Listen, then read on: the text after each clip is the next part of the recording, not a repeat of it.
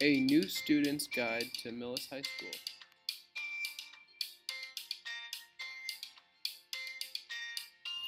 We will begin with the building itself. The first thing you should know is that there is two floors. Here is a map of the first floor.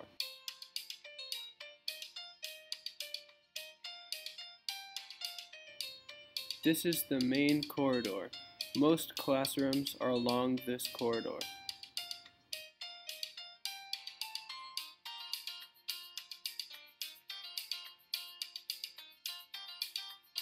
There is another hallway that branches off from the main hallway.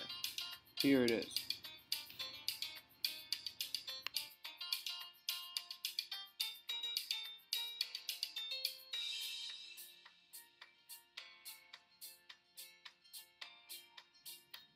These stairs lead to the second floor.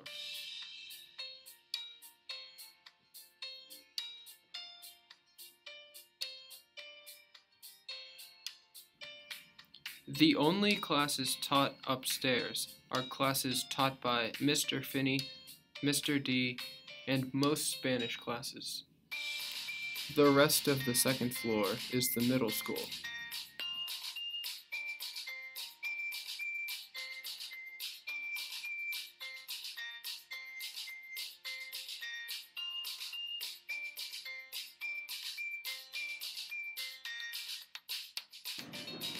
Here is a water refilling station.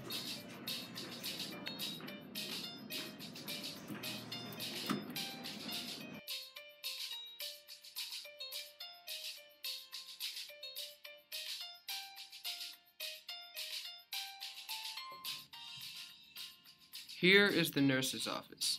It is in between the bus platform and the library.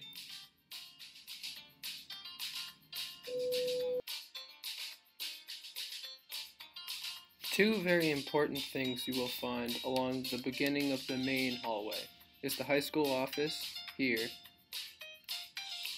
and the next door down is the guidance office. On this map of the first floor, the purple X's mark the bathrooms, and the blue dot represents a water refilling station in the cafeteria. Now, let's take a look at a few things on the schedule that you may be curious about. You may ask yourself, what is this advisory period on my schedule? Well, advisory is a short period that happens once a cycle, and it's a small group of students in your grade that meet with an advisor, which is usually a teacher. In advisory, you talk about school-wide matters and announcements. Alright, we'll do advisory. Oh, Everybody get a scan of your grades. Um, let's go over the announcements. So. Do it with me. It says, You look like a girl. the Leadership and Outdoor Pursuits class has its annual charity cornhole tournament. We're starting, so Well, I think it it's today. doesn't first week, We're doing lunch, so it's so not really coming up. for our like movie night that's Thursday night. That's what I did. That's like we're looking for a five dollar donation in order to come. And then um, for the So cornhole tournament for a team, it's ten bucks a person, so twenty bucks a team. So if you out, have a team of two, you sign up at lunch. We'll put your name on a cool sheet, and you Oh. have to make sure that you have a study hall purposes, it's where you can come in and participate, or It's you have gotten the quiz okay from your for the teacher to idea. come and participate. You can't just leave.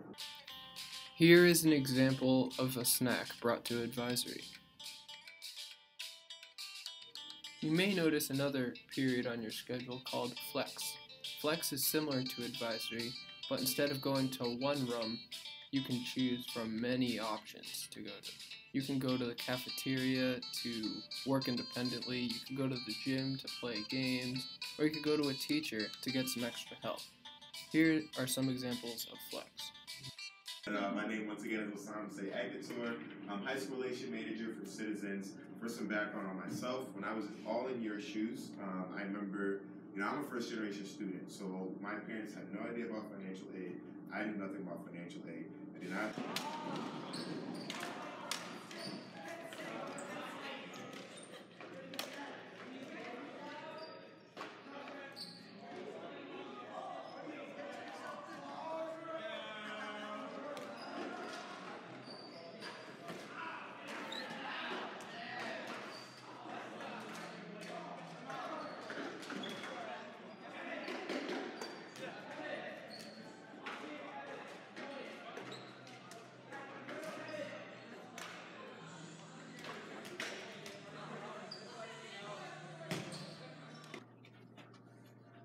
Say that we did move on to paper mache to you, um, and I don't know if you've done any of that before, or do you think you could come up with something? Like some people are doing like fantasy creatures and figures, and then obviously.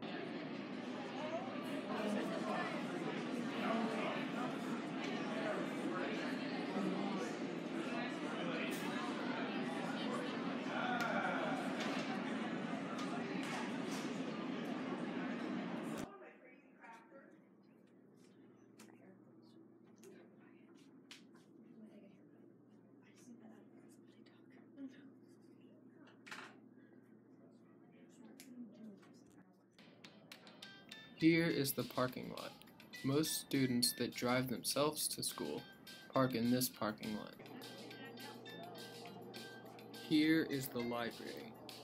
The library is a place where you can check out books, print things, or hang out.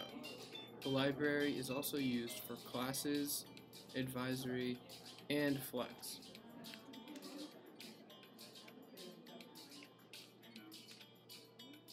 And for a relatively small school, there are a number of club options to choose from.